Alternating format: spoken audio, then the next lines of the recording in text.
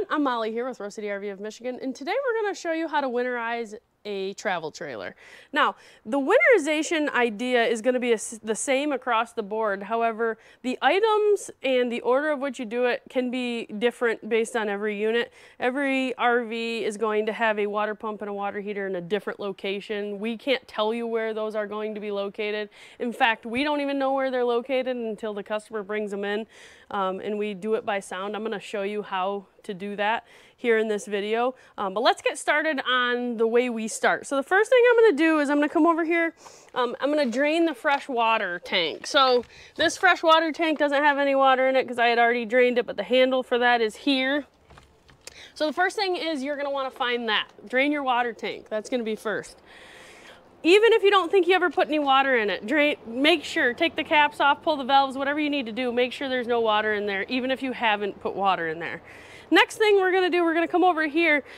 This is where the low point drains are. Um, mostly every coach I've ever seen has these. I can't say all of them because there are some out there that don't have them. Um, but this is gonna be the lowest spot for our plumbing. So I'm gonna drain these or open them up per se. And I'm gonna let whatever water in there drain out that I can. And the reason I do that is so that way that water doesn't instantly start mixing with my antifreeze.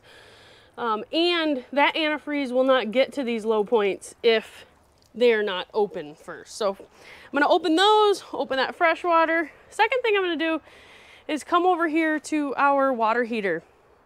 Now, you might ask yourself, what does my water heater look like? The majority of them look like this. And I say majority because there are multiple different kinds of water heaters. This has a Suburban.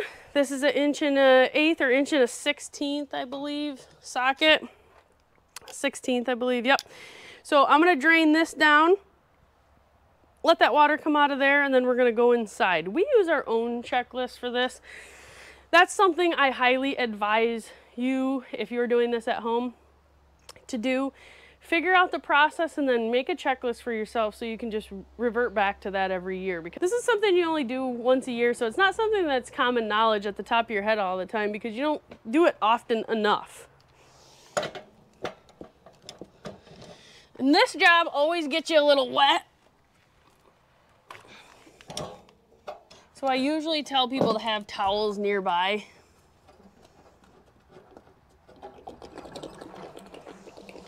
Now, as you see this water come out of here, we are near a gypsum quarry here in the Tawas area. And with that being said, you can see all that water coming out of there.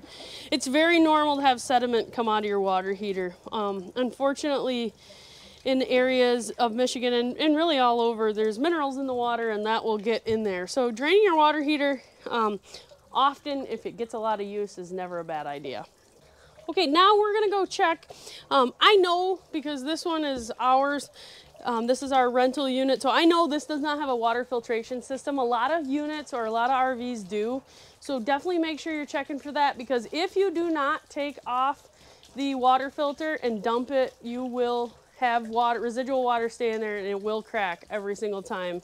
It's a common replacement part we see in the spring. Um, and it just, the antifreeze won't get in there and it'll dilute it. And it can actually add water to the rest of your plumbing lines and give you other problems in your fixtures. So check for a water filter. We don't have one on this. I know that because I've winterized this one many of times. Um, but that's definitely the next step we're gonna do. Then after that, which we're not gonna find a water filter, we're gonna go um, switch the valves on the water heater as soon as this is done draining. Okay, so monitor panels located here. You're gonna wanna find your water pump switch. This is how I find a water pump in an RV, a new RV, or a different RV that I've never winterized before. I'm gonna come over here and I'm gonna hit that switch. Then I'm gonna hear it. And I can hear it right underneath it here. So I would open these drawers, take a look if you can, look under there. Now, because I've been doing this a little while, I know that these false walls are where they had things like this. So the water pump is going to be beyond here. That is the only secret to finding your water pump. Um, you literally have to turn it on and listen to it. There's no other way to really know. New RVs are starting to come with schematics. That's never been a thing in our 20 year existence um, until now. So you, if you're lucky enough to get a schematic and it be right, it can tell you where the water pump is, but that's not generally the case. So I'm gonna go grab a screw gun. I'm gonna take this off and we're gonna check out the water pump.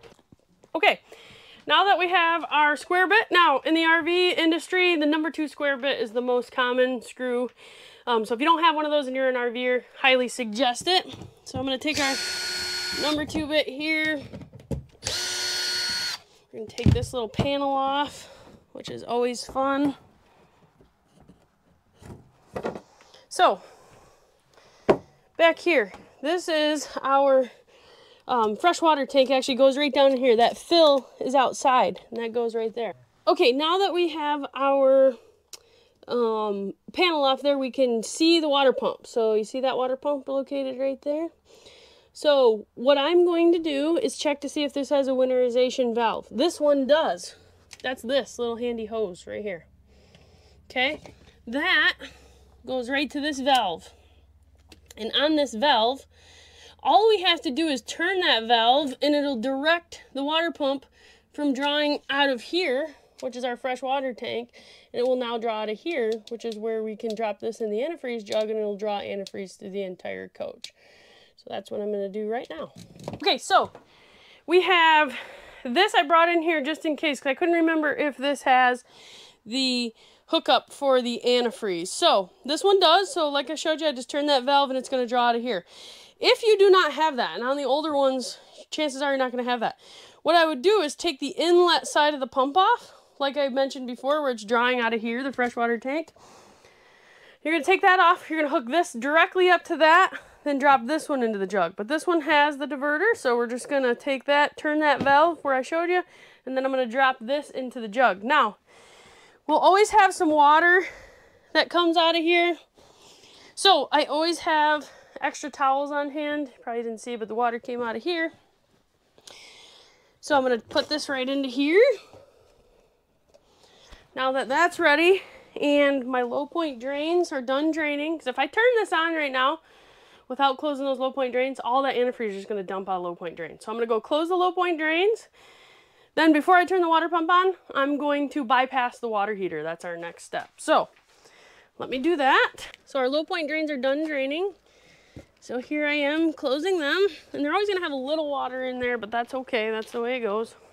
When it comes to finding your water heater valves on the inside, you need to first find the water heater on the outside, which we did. It's in the rear bottom section of the coach somewhere. That's a normal position.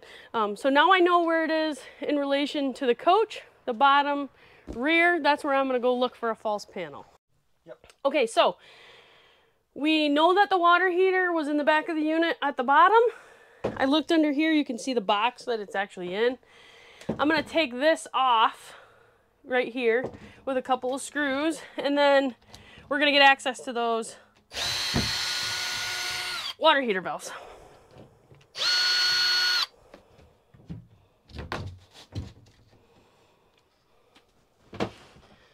So if you look back in here,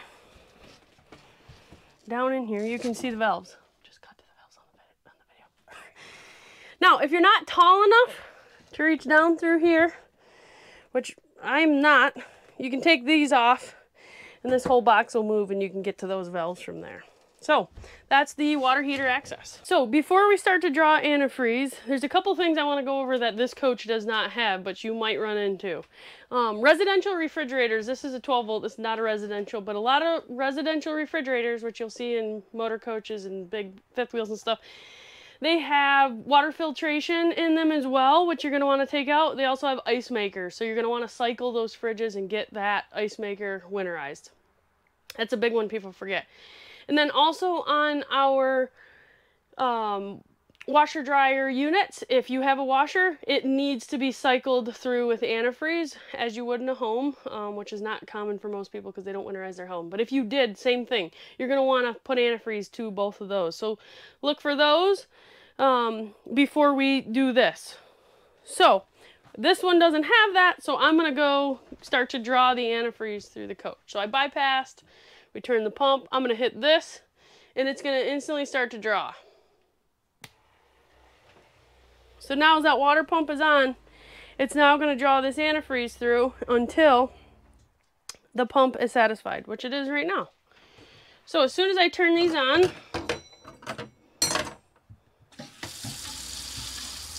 so I'm going to go hot.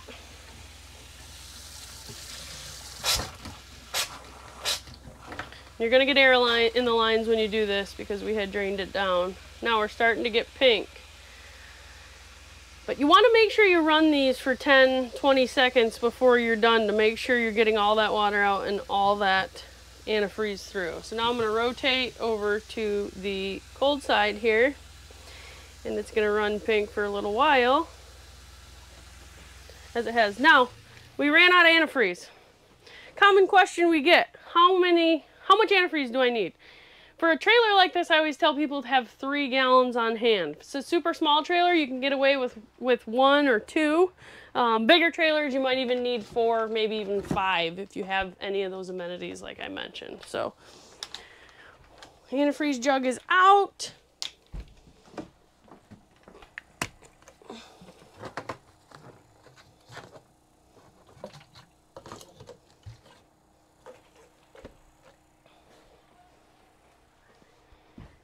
So I did the sink. We got good pink coming through here. Air pressure is weak as it starts to draw again. So good and pink there. Now I'm gonna go to the bathroom. Good and pink there. Good and pink there. Don't forget your toilet. That's a big one everyone forgets.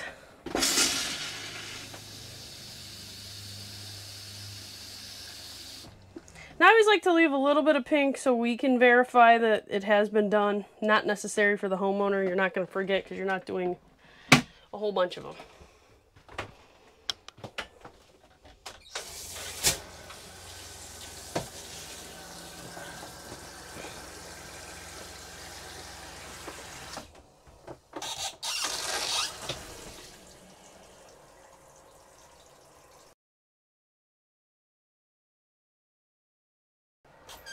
There's our shower. One one mistake I've I've seen people make is that they don't get antifreeze through the shower hose line itself. Um, sometimes if it has a bath fixture, like in um, some units, they'll just have a bath fixture. They won't think to draw it through here, so don't forget about that. So we're almost done. We went through two jugs. Two and a half is usually the number that I say you need, but unfortunately you can't buy a half gallon, so you need three gallons. Okay, so to finish this off, I do not like to put the drain plug. Um, this anode rod is also a drain plug. I don't like to put this back in once I'm winterized because then I know that it has been done. So that's going to be the end of our winterization video. Hopefully that helped you if you're looking to do this on your own. Um, we do offer a description sheet in store. So if you need that, um, or if you need us to email that, we can do that as well. That just kind of gives you a checklist. So you can do this at home. Like I said, every RV is going to be different, but it's the same general purpose um, to make sure you get all those water amenities antifreeze, with antifreeze in them. So that's going to be that. If you like this video, please like and subscribe to see more like it.